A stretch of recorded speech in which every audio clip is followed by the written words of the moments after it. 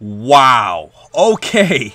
Dragon Ball Super episode 129 was by far one of the most anticipated episodes that we've probably ever had of Dragon Ball Super, and in the entire history of the Dragon Ball franchise, considering the fact that the preview kind of gave us that Goku finally mastered his Ultra Instinct state. And this video will contain spoilers, so if you guys don't want to get spoiled, I suggest you leave now. But, I mean, the preview kind of already did the work for you. So, boy, oh boy, do I have to say a lot about this episode, guys. And what I want to talk to you about specifically in this reaction, I'm going to go more in depth about other things throughout the week, is I want to talk to you about that one sequence that Goku had. And obviously, this was the key thing that really stood on the episode. The episode on its own was pretty decent, pretty solid.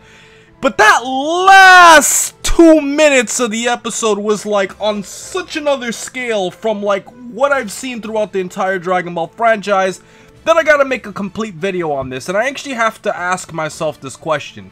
Is that the greatest Goku moment in the history of Dragon Ball? Well, after watching this episode three times, I actually went back and I actually looked at Dragon Ball, Dragon Ball Z, Dragon Ball GT. Yes, I know it's not canon, guys. I know it's not canon, but can we just talk about GT for all sakes and purposes, please?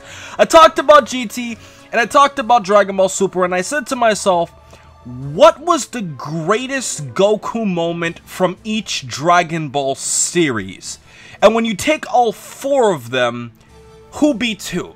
Well, the first thing I thought about was going back to Dragon Ball, and I said to myself, I think the greatest entrance sequence, and what I mean by an entrance sequence, is when you have a sequence in which a character enters the fray, they are either a new character, like Future Trunks showing up and randomly killing Frieza, and this character displaying a type of power that we've never really seen before.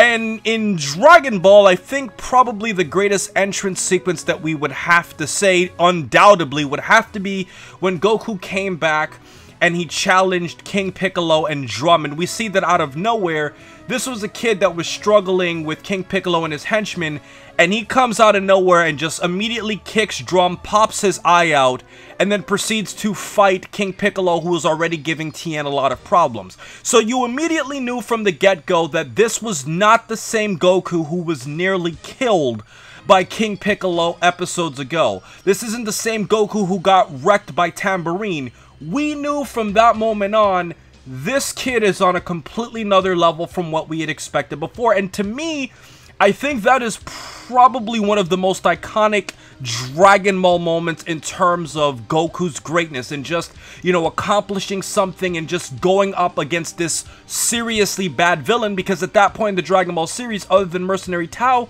we never really had like a seriously hardcore killing villain with the ambitions of King Piccolo. Mercenary Tao was evil in his own right, but he was an assassin. King Piccolo actually had greater ambitions, which is why I feel like that moment was hardcore, especially for its time in Dragon Ball. And then when we go to Dragon Ball Z, guys, I gotta say this, man.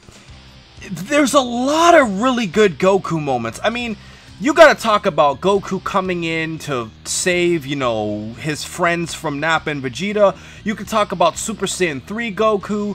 You could talk about, you know, Goku facing off against Cell and showing all of those feats where, in fact, Cell had so many of the other Dragon Ball characters' powers. And just seeing that battle between Goku and Cell was so great. But in all reality, I think we would have to say that the greatest Goku moment in Dragon Ball Z, and this is purely subjective from my opinion, would have to be when Goku went Super Saiyan against Frieza. And when you think about it, it completely follows the entrance sequence. Goku gets this new power out of nowhere, Frieza's about to kill Gohan, Goku jumps right in front of him, grabs his hand, and we knew from that moment on that this was not the Goku who was firing the Spirit Bomb at Frieza, had no energy left, had nothing that he could do, required his friends to distract for him. This was a Goku who could completely bang and fight Frieza on his own accord. And if you look throughout that whole Goku versus Frieza fight, there were a lot of individual moments that you could pick out. But seeing Goku go in front of Frieza and grabbing his hand when he was about to kill Gohan would have to be probably one of the greatest entrance moments we've had of Goku in Dragon Ball Z, at least in my opinion.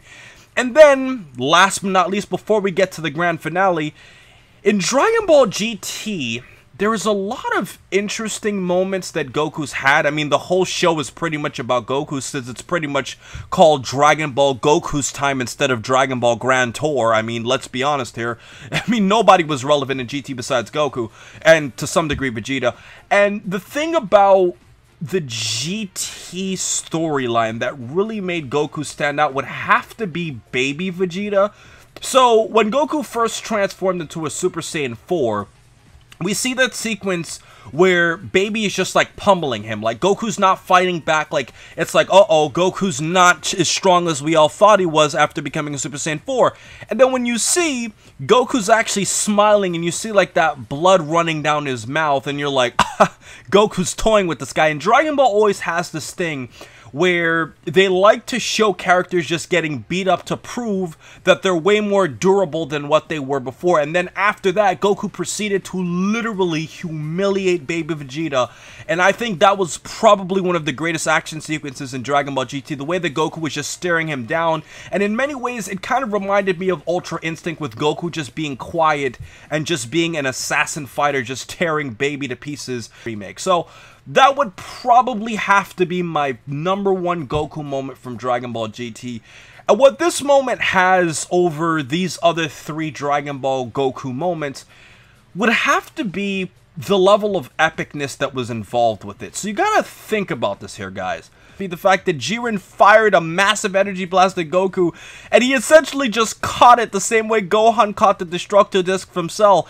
And the way that Goku caught it without even looking at Jiren with all that aura was kind of like, Jiren, you're missing something, bro. I caught this. It's like he's catching like a rebound from an out of bounds pass. I know it's sports and you guys probably don't care about that. But that's essentially the vibe I got from it. It was it was it was such a dominating moment from the get-go that it would definitely hype up the rest of what happened throughout the episode. So, at the beginning of the episode, we see that all of the gods of destruction are all quiet. Like, the episode started off kind of like a Wild Wild West where there's nothing but silence. You're just seeing the battle heating up between Goku and Jiren again, which is a great way to start the episode. And as it proceeds, we see a moment where Vegeta was talking to the gods as they had no confidence that Goku could stop a guy like Jiren. And as I said before, one of the biggest storylines of this arc is that the mortals are now finally surpassing the gods.